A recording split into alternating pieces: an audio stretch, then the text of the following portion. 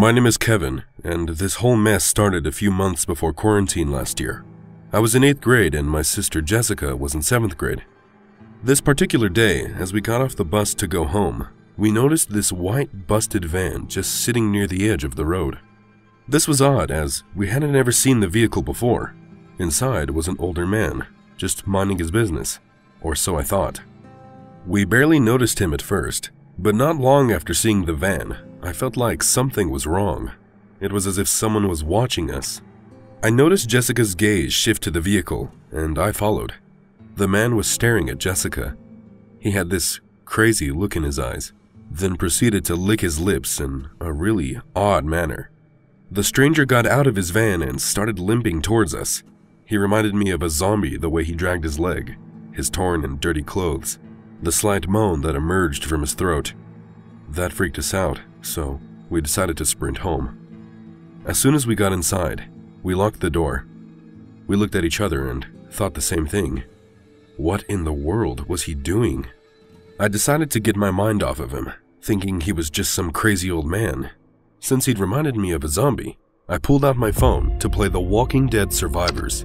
It's a game based on the Walking Dead TV show where you can experience the original story in a post apocalyptic world with more than 80 iconic characters that include Rick, Glenn, Michonne, Negan, and many more. It features a tower defense system gameplay where you have to strategize with limited resources and defend your base with traps, routes, and structures while fighting hordes of walkers.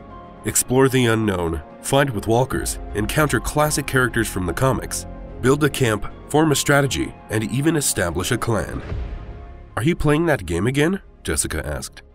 Can I play with you? Of course. Soon enough, we were both online in a clan, recruiting new survivors, gathering supplies, gaining territories, and kicking zombies' butt. Only in this game, they're called walkers. My camp was under constant siege from the undead creatures. Once Jessica joined my clan, though, we started taking over more territories and building up strongholds as we went. Since each of the survivors we could recruit had unique skills and abilities, my sister and I were able to distract ourselves by figuring out which task was best for each character based on their attributes. Some we'd send for supplies, others we'd set exploring, or farming, or training, while the rest could be used to fight off walkers. If they got hurt, we could even take care of their medical needs. Always remember, your survival depends on your strategy. If you want to see if you can survive the Walking Dead survivors, Play now for free by clicking the link in the video description and use the code TWD Survivors to get free in-game rewards worth $20. I eventually forgot about the strange dirty man, but when we returned from school the next day, the creepy van was still there, and so was the stranger. He was staring at us, and he did the same thing, licking his lips in the oddest manner. We ran home, and I closed the door and checked all the locks again. Jessica and I both agreed to not tell our parents because we didn't want them to worry sick, knowing the kind of paranoid people they are. This kept going on for about a week, him being there and us getting scared and running home whenever we passed his van. But then it just stopped. He wasn't there anymore. We both felt relieved. As we got home, Jessica and I immediately logged into the Walking Dead survivors again. After an hour, we both heard a knock on our door. This was unusual, as we didn't get visitors that often. Startled, I went to check who it was. I peeked out the window next to the door. It was this tall guy, about six three, wearing a black hoodie pulled high to also cover his face. In his hands was a pizza box. A pizza box? Who wouldn't want free pizza? I thought to myself. I looked over to Jessica, who also noticed him. She shook her head no. Don't you want free pizza? I asked. We don't even know who that is, or what's in the box. Please don't open the door, said Jessica. She made a good point. The delivery guy knocked again, much harder this time. Can you open up? he asked. We didn't order any pizza, I responded. He didn't say anything for a moment. It's from your parents, the man said. They wanted to surprise you, so can you open the door? I looked at Jessica. She was pale, her eyes narrow, He's lying, she whispered. Mom and Dad would have told us if they were sending pizza. They wouldn't want us to open the door for a stranger. The delivery guy knocked again, so hard this time that the door shook. Stop playing around, he growled. Open! Now! I didn't say anything this time, but I did lock the deadbolt. The man must have heard because he began pounding on the door. After a few moments, he stepped back. I glanced out of the peephole, just in time to see him take off his hood, revealing his face. Oh no, I muttered. It was the same guy that was stalking us after school for the past week. He noticed me staring and licked his lips in that horrifying manner. I looked at Jessica. She had the same terrified expression as me. Call the police and hide in the upstairs bathroom, I screamed. She ran upstairs as I went to check if the back door was locked. After I confirmed that the entire house was secure, I went upstairs and hid in the bathroom with Jessica. I found her shaking and crying in the bathtub. I told her everything was okay, even though I knew we were in danger. Just as I was finally calming her down, we heard glass shatter. He was inside the house. We stayed there, not daring to move a muscle. I could hear his heavy, dragging footsteps around the house. Kevin, Jessica, I know you guys are here. Please don't make this hard for me. His groaning voice echoed around the house, filling every corner. The stranger was starting to make his way up the stairs. Jessica began hyperventilating. I got in the tub and covered her mouth so her breathing wouldn't give our location away. The old man was yelling, laughing like a maniac just on the other side of the door. Jessica's eyes were white with panic. Don't worry, we're okay, I whispered to her. Just pretend that we're survivors, like in the game. The zombies can't find the survivors if they're quiet. Jessica still looked terrified, but she nodded and stopped shaking quite so bad. You guys are trapped. You're all mine, the old man moaned. My clothes were drenched in sweat. The stranger approached the bathroom. He was standing in the hall, laughing. Then, suddenly, he became silent. It was so quiet, you could hear a pin drop in the distance. The old man was scraping the other side of the door with something metal. After a few seconds of scratching, he hit the wood hard enough to cause the frame to shake. I peeked over the edge of the tub. The point of a knife was pressing through the door. We were doomed. This was going to be the end. I was processing our last moments. The man slammed into the door again and again, causing the wood to crack. Jessica screamed. A final blow buckled the door and snapped the lock. The old man stood in the doorway and licked his cracked lips. He was even grimier than when we'd seen him in the van. His eyes were bloodshot and had a yellow tint with dark bags hanging under them. The man's skin was scabby and peeling, pale and covered in dirt. His hair was a rat's nest of greasy gray tangles. What few teeth he had left were rotting, black at the gums. He showed them in a crooked smile as he watched us. The man took one step towards us, then froze. A wailing sound filled the room, coming from just outside. Sirens. The police. I never felt more relieved in my life. But just when we thought the man would run away, he continued to step forward, dragging his feet. Mumbling inaudibly, with the knife held forward as if he was hungry for blood. My sister screamed at the top of her lungs, and at that moment, a large gunshot went off, almost making my eardrums explode. Platters of meat painted the wall, and the man fell to the floor. Behind him was a police officer. I looked over to Jessica. Her eyes were rolling back. She collapsed. Jessica! I shook her. Jessica! Jessica! No response.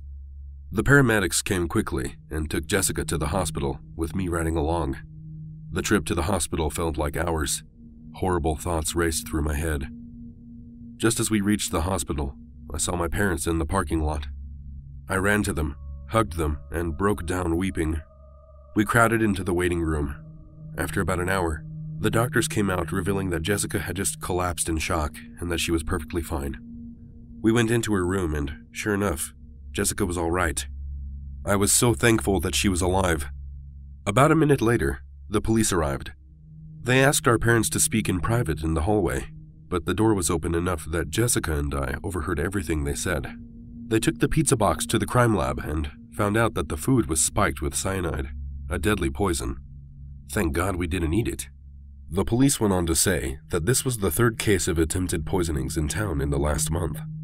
All of the events appeared to be linked because the poison used was always cyanide and the targets were always children. We don't know what the hell was wrong with that guy. Maybe he was mental. But after that day, Jessica and I never stayed home alone again.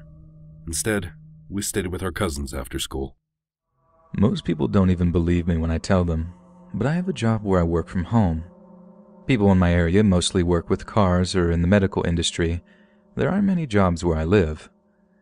Thankfully, I was able to land a decent paying job that let me work from my home office. It definitely comes with its struggles, but it is hands down the best job opportunity available to me right now. It isn't always perfect. It definitely comes with its pitfalls. Sometimes you have to sit at your computer even when there isn't any work to be done. It's also very easy to get distracted. But I think my biggest problem has to do with the house itself. It's kind of creepy. The house itself is an old Victorian, like really old. We're talking mid 1800s. A family friend owned the house and sold it to me for a very fair price, basically gave it to me. I was super excited because it meant I got a nice big house to live in by myself along with my girlfriend. I'm a natural loner and I don't really care for social interaction, so I had a nice big house all to myself and girlfriend and job where I work from home with very minimal social interaction with other people. That was basically my ideal life. But the house's age meant that it was going to be scary at times. And I don't mean with ghosts or anything like that, but sometimes I hear the house settling in or making noises that I can't explain. I've actually had quite a few instances where I'll be sitting down and doing some work, and then out of nowhere, I hear a noise that I just can't rationalize. I go exploring throughout the house only to find that nothing has changed. It's as ominous as it is frustrating. I did just about what anyone else in the world would do. I started to use background noise to drown out the disturbances. First, I tried those quiet instrumentals on YouTube. You know, the ones that last five hours and they're supposed to put you at ease or something. It didn't really work for me because I couldn't get my computer to be loud enough to drown out all the noises. It was also not very good at keeping my attention. There was one week where my work was really slow and there wasn't a whole lot to do. I still had to sit at my computer though. There was an understanding that I was allowed to basically do anything I wanted as long as I was available to my coworkers if something came through that needed to be done. I didn't quite know what to do with this time and just started watching documentaries on YouTube. It was actually pretty fun. I learned a lot. And so that next week, when things started picking up again, I just instinctively turned on a documentary. I wouldn't be able to have all of my focus on it, but it was a lot better than having some ambient noise. It actually helped distract me from the sounds of the house. I guess I just didn't have enough mental focused energy to notice any of the other sounds going on around me, if that makes any sense. Well, it had been about two weeks of me watching documentaries while I worked. Everything seemed to be good. Until one Friday morning, I started work at 8 and this must have been around 10, I was sitting at my office chair working while I listened to a documentary about certain conspiracy theories when all of a sudden I heard an abrupt banging noise coming from upstairs. Like I had said, I hadn't been distracted by any noises for a while by this point, so the fact that I noticed this noise meant that it was probably serious. My fight or flight kicked in. You might laugh at me, but when I work, I keep a knife next to me. I ran upstairs with the knife and looked around for any suspicious noises. The banging had stopped, and I didn't know where it had come from. I knew what section of the house that I heard it from, but there didn't seem to be anything out of place. I stood there for a few moments, and then I heard it again. It happened right on the other side of my door. I immediately braced myself for there to be some kind of animal or something trying to get in. I didn't really know what to expect. I opened my door to see that the screen door had not been properly closed. My girlfriend didn't close it all the way when she left for work that morning. It was also pretty windy that day, so it was just going back and forth, causing a banging noise when the wind got bad. This was kind of a breaking point for me. I didn't want to live my life in constant paranoia and fear of some kind of attacker coming into my home. We live in a safe area. There's never been a serious threat and I have run around my house with a knife way too many times now. I honestly felt kind of stupid, so I made a decision. I was no longer going to assume that someone was breaking in if and when I heard a sound. I put the knife in my dresser in my bedroom and decided that I was going to just be in to work while I was working, except for my documentary, of course. So there I was the next week, It happened on a Wednesday. I was sitting in my office doing exactly what I had set out to do. I was working, ignoring the noises, and listening to a documentary. I remembered the exact part of the documentary I was on when I heard it. The sound was the loudest sound I had heard in the house up to that point. At first, I reassured myself that it was nothing and that I need to fight against this paranoia. The sound continued, and I couldn't take my mind off of it. After about five minutes of listening to what sounded like rummaging and walking, I went upstairs to check. Bear in mind, I didn't have any weapon on me and I was expecting some kind of reasonable explanation. When I got to my kitchen, I saw that the front door was wide open. The cabinets were all open, and there was a strange man rummaging through my stuff. I didn't notice until after the fact, but he had been eating something. I remember screaming at him. I don't remember what I said, but it was something to the effect of, What are you doing in my house? obviously. Then he just ran off. Didn't say a single word. He took a loaf of bread with him, but I don't think he took anything else, other than what I had eaten before I came upstairs. I reasoned with myself that he must have been some sort of homeless man or something. I don't know why else he would steal a loaf of bread from a very ordinary looking house. And this was the worst thing that could have happened. On some instinctual level, it had proved all of my worst fears right. There was some kind of danger in my house, and of course, it was the one time when I didn't have my knife on me.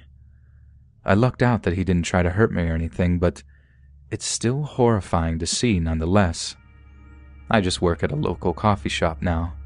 It's honestly my only way to stay sane. When I was 14, I would spend the summer holidays away from school at home. In the small village I lived in, this meant I mainly spent my days on my own, just watching TV and playing The Sims. My parents were generally out of the house from 8am until 5pm. I was raised to never answer the door to strangers. However, my favourite spot in the living room was right next to the window, so I could always see people on the street, and in turn, they could see me. One day, I was sat watching daytime TV when I noticed a man walking down our street. As our street has a dead end, I normally recognize everyone who walks down it, but I'd certainly never seen this guy before. He was tall, thin, and unshaven. He was wearing a hooded jumper, with the hood up and his sleeves rolled up as well, revealing tattoos on his arms. He was carrying a large duffel bag and was looking closely at each house he passed. As I was sat there watching him, I was clearly in full view. He started to pass our house, and when he saw me, he smiled and started walking up our short drive. He came up to our front door and knocked. I knew I shouldn't answer, but he had seen me and at 14 I was afraid of being rude to an adult, so I obediently went and opened the door a crack. I peeked around the door and said hello. As he spoke, he pulled the duffel bag around to the front of his body and asked me if my parents were home. At this point, I figured he'd probably leave if I said no, but instead, he stepped forward towards the door and unzipped the bag. Well, the thing is, I just got out of prison. I want to do the right thing, you know? It's so hard to find a job, so I'm trying to sell some things. He started pulling towels, handkerchiefs, and other junk out of his bag. The word prison made my heart skip a beat, and I quickly mumbled something about having no money, and I closed the door on him. He stood outside my door for a minute, still talking to me about being able to help. So I went upstairs and waited for him to leave, which he eventually did. I soon settled back down to watching the TV and forgot all about the encounter. At 5pm, my parents came home and they took the TV, so I went up to my room.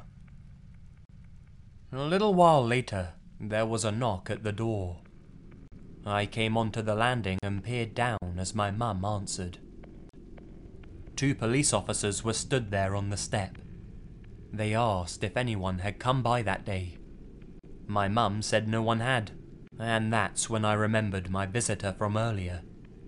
I came down the stairs and said that actually someone had called by.